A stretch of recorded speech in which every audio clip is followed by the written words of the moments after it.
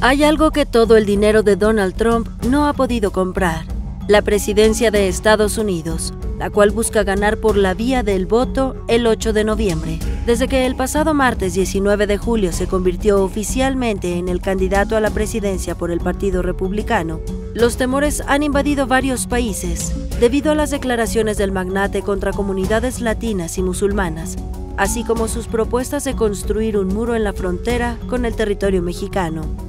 De ganar, el empresario, nacido el 14 de junio de 1946 en Queens, Nueva York, sería presidente a sus 70 años.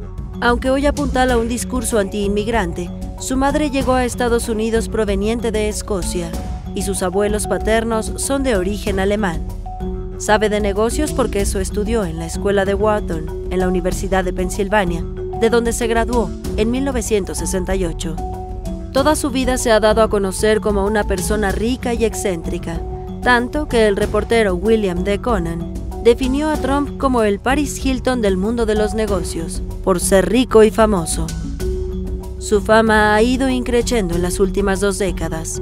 En 2004 participó en el reality show El Aprendiz de la cadena NBC, lo que lo hizo más conocido que cuando en 1996 se convirtió en dueño del popular concurso Miss Universo. Ese certamen lo persigue hasta ahora, pues la entonces reina de belleza Alicia Machado lo acusa de haberla llamado Miss Piggy, Miss Housekeeping, e incluso le habría dicho que era una máquina de comer. Machado no es la única mujer con la que no le ha ido bien. De Ivana Trump, su primera esposa, con quien tuvo tres hijos, se separó por la infidelidad del empresario. De hecho, el candidato es señalado por una decena de mujeres que lo acusan de acoso sexual. Trump dice que son mentiras y que hay una campaña contra él. En la supuesta confabulación participan no solo mujeres, sino demócratas, empresarios y hasta medios de comunicación. El mes pasado culpó al empresario mexicano Carlos Slim de torpedear su esfuerzo por llegar a la Casa Blanca, luego de que el New York Times, diario del que el magnate de telecomunicaciones es accionista, hizo públicas las acusaciones de acoso sexual contra el republicano. El prestigiado rotativo ya hasta se ha acostumbrado a sus embates y no se retracta pese a las amenazas. Su tono amenazante contra la prensa crítica lo ha hecho hasta expulsar al reconocido periodista Jorge Ramos. No, you don't. You haven't been called. Go back to Univision. Go ahead. Go ahead.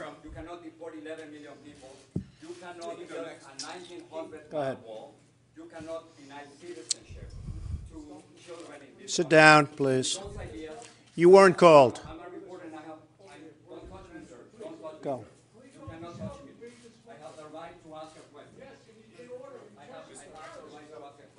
Yes, go ahead. Hi, Chip. Para Yes. Trump, el centro del mundo es él, y quienes no están con él simplemente están en su contra. Con México ha mantenido una relación hostil, lo que le ha hecho ganar millones de detractores.